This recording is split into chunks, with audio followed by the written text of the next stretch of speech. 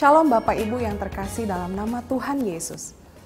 Pengetahuan akan memberikan kita kekuatan, tetapi karakter akan memberikan kita kehormatan. Berikut ini akan kami sampaikan kegiatan sepekan gereja kita.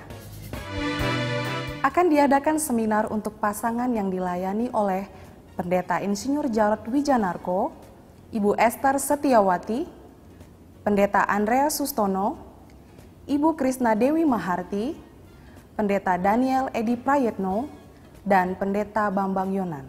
Seminar ini diadakan selama dua hari pada hari Rabu tanggal 11 Oktober 2017 pukul 18.30 sampai 21 WIB dan hari Kamis tanggal 12 Oktober 2017 pukul 9.30 sampai 12 WIB dan pukul 18.30 sampai 21 WIB.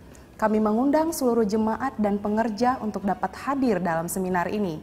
Seminar ini gratis dan terbuka untuk umum. Departemen Pemuda akan mengadakan ibadah Pray, Praise, and Worship pada hari Sabtu tanggal 14 Oktober 2017 pukul 18.30 WIB bertempat di GBI Rumah Persembahan Ruang Bagas Godang dan pada hari Minggu tanggal 15 Oktober 2017 pukul 18 WIB bertempat di Youth Center Cambridge lantai 2. Ibadah ini akan dilayani oleh Pastor Julita Manik. Kami mengundang seluruh jemaat pemuda cabang dalam dan luar kota. Ibadah ini juga terbuka untuk umum. Komseri 200 GBI Rumah Persembahan kelas minggu yang akan dimulai pada hari ini, tanggal 8 Oktober 2017 pukul 15 WIB bertempat di Sumatera Resort. Dan masih dibuka kesempatan pendaftaran KOM seri 200 GBI Rumah Persembahan kelas reguler pada hari Selasa tanggal 10 Oktober 2017 pukul 18 WIB.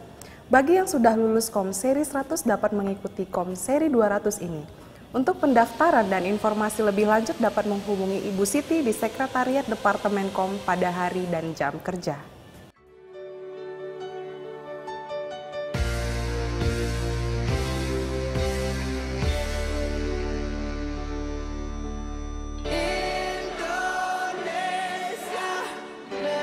Sumpah Pemuda 1.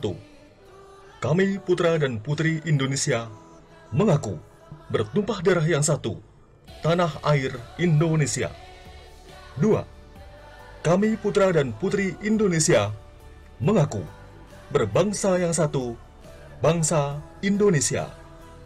Tiga, kami putra dan putri Indonesia menjunjung bahasa persatuan, bahasa Indonesia.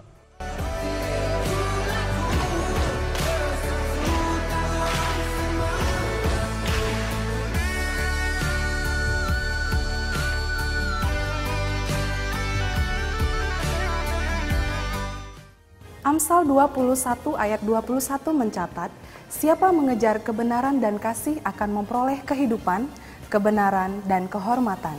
Informasi dan kegiatan-kegiatan lainnya dapat dilihat dan dibaca dalam aplikasi gereja ataupun Warta Sepekan.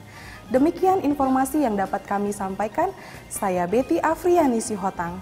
Tuhan Yesus memberkati.